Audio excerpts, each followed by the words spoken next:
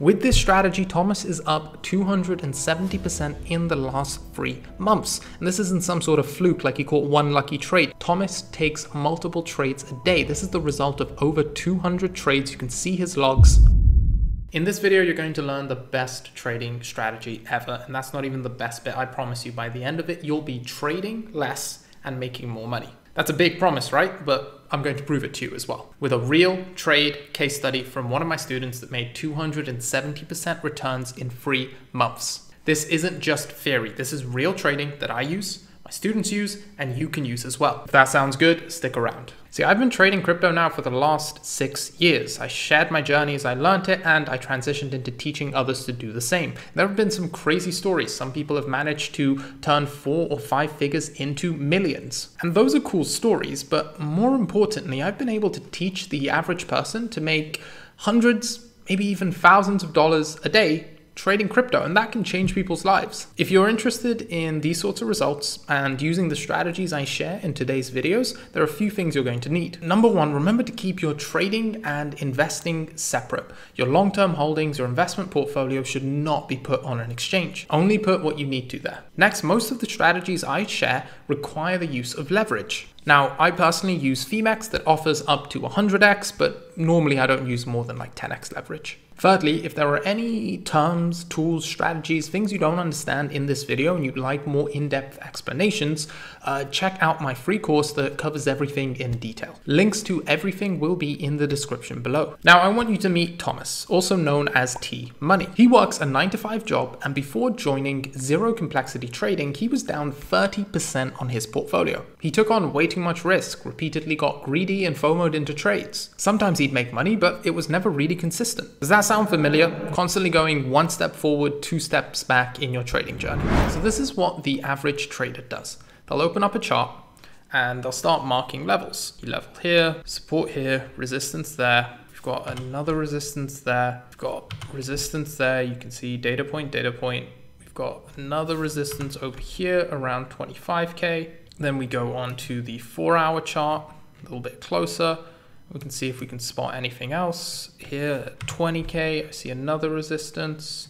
If you look this level here, we've got another resistance and it's confluent with this top point there. So there's another level and maybe one last resistance we can see around about over here. So that's our levels marked. And now we zoom in and we're going to trade. Well, we know resistance, price normally goes down. So we're going to try sell here and then we're going to try sell here again. And if price comes down here again, we'll go for the buy because obviously this is support. Price goes up. We tried to sell here, we failed. We tried to sell here again, we failed. Now we get really frustrated and okay, 20K, big psychological level. This has to work. We're going to go for a big sell there and make some good profit. Price goes up again, smashes through this level. Okay, no worries. We've got another resistance. So we'll sell there. This will flip into support. If it comes down here, we'll buy here. Price goes, never comes down, not really goes back up and smashes through two other resistances and we'd have probably lost a bunch of money. Maybe we buy here because it finally comes back down to support. We look for a trade there. Okay, we got our buy. Price is going up. Okay, hasn't bounced yet. Oh, it's about to bounce. No, failed to buy again. Uh, it's not bouncing. Will it reach this resistance for us to sell? And no, it's come back down. Um, we try buy here, we fail. Try buy here, we fail. And we get confused why this isn't working because uh, we know that we have to sell at resistance and we have to buy at support. I mean, that's how demand and supply works, but we're missing a key piece of the puzzle. See, I'm just showing you support and resistance. Most people's charts look like this. They've got a ton of different indicators. They're trying to figure out when to buy and sell and nothing seems to work. Nothing seems to make sense. Now we'll get to the point where everything changed. First thing I want all of you to do is look at your charts and get rid of everything that shouldn't be there. What's happening right now, it's like we're going to the gym and trying to get into shape.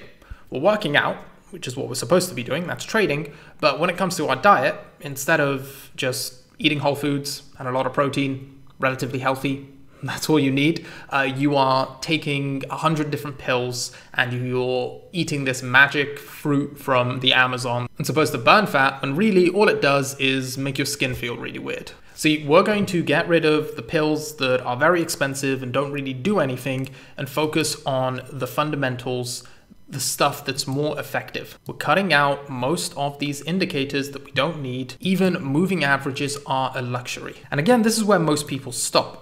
See, it's not just which indicators you get rid of, it's how you use your levels. Right now, we've set a lot of different levels. One, two, three, four, five, six, seven different levels to be trading throughout this period when we don't need that at all. Let's go back in time over here where we first started.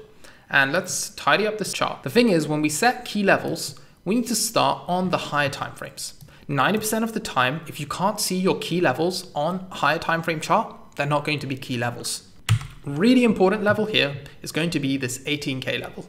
Look, there's absolutely no levels breaking through this except this one point here, and you can see it very cleanly turn into a resistance as price goes up there. So we've got a really clean key level over here. The next one that I really like is up here at about 21.5k. It acted as a heavy resistance here that the price crashed down off of. That's very important. You don't see much breakage here. One clear deviation, very strong acting as resistance over here, key support level over here, and then two really clean key resistance levels over there. If you compare that to something like, say, this 20k level, while 20k is a key psychological level, look at how disrespected this level was over here. Price was just going up and down through it and not giving it much respect at all. So even though in the recent data, it's pretty important, in the high time frames, this is not going to be a super key level right now. And then finally, we have resistance up here at around 25k. These are going to be our most important levels alongside our support down here actually at around, let's say 16K. You could use absolutely nothing else but these levels and one other strategy that I'll show you in a second to trade these charts. But before we get there, it's still important to go down into the lower timeframes because when we get to the four hour, we still can see very important stuff on the charts. For example, I may want to set an alert for when price gets above this level here. While it's not a key resistance, it's a nice round number at around say 17k and it acted as a resistance recently quite a lot and repeatedly. We've got another level over here. Acted a lot as a resistance before we had this one big deviation. You can see a small bounce over here and that gives these two levels a bit of significance. Now, we're not trading around these levels because they're not key levels, but we can use them to maybe accumulate a little bit over here in anticipation of the price going up, or use these as measures of momentum heading into resistance. There are ways to use these, but they're not key levels that we're trying to trade. So that's the first thing we're doing. The next thing, and I will not stop repeating this message, is you need to know when to trade. The secret to trading less and making more money is identifying the right time to trade. And to do that, you need to understand market structure. Market structure is extremely easy. These are the four things you need. You need to know what higher lows are, higher highs, lower lows, and lower highs. Right now, for the longest time, the market has repeatedly been making lower highs and quite aggressively, I might add. You can see a repeat pattern, and every time we've tried to break it, we've been led astray because it's been a fake out or a trap and the price has gone straight back down. Then alongside this, we continually get lower lows. However, what you will notice is that the distance between these is slowly getting less and less. That is a sign that the trend is weakening. Not only that, but you're seeing longer periods of consolidation in the middle. Once you see that weakening trend, you're going to be looking for big breaks of these lower highs. So right now, we've gotten rid of all the levels we don't need, and we've identified that this is a key structural level and a key resistance level on the higher time frame charts. So we know if this shifts, market structure starts to shift and we can trade in the direction of the market structure. So pay attention to what happens here. We see price smash through these less important levels here. We can enter small positions, but then we see a big breakout of this level. And if you identified market structure, you'd know our goal isn't to sell here, but if the price gets above, we've got huge distance till the next key level to long because we're playing the breakout here. So we go for a breakout here now that market structure is shifted and we'll do the exact same thing over here. See, when Thomas learned to start trading in the direction of the markets, his results changed hugely. He was no longer chasing trades and FOMOing into them, he was let, letting the trades come to him because he knew how to read the markets. And now you can actually apply that same market structure strategy here to know that this level here has broken a bit. It's only one break, and we didn't lose this key level here, but if the price fails to break this key level, that is another potentially bearish sign. Look at the levels, the structure, big move here, smaller move here, and now let's pay attention to this move. Less big move, struggling with this level. Now it's coming back down.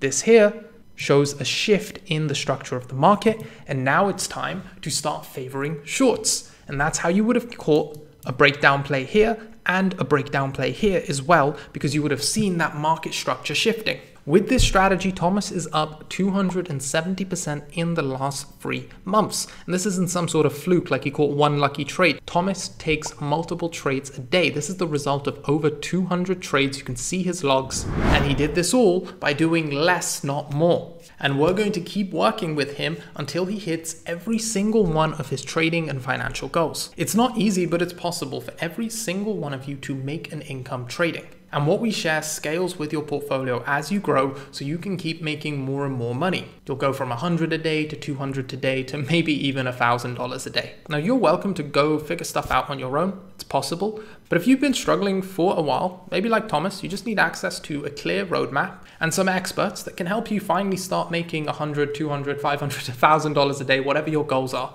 If that sounds like you, do check out our paid community. It's been growing so fast that we're actually raising the prices every single month. But if you do join now, I'll guarantee you will stay at whatever price you purchase your membership at, even if the price goes up 10x from where it is right now.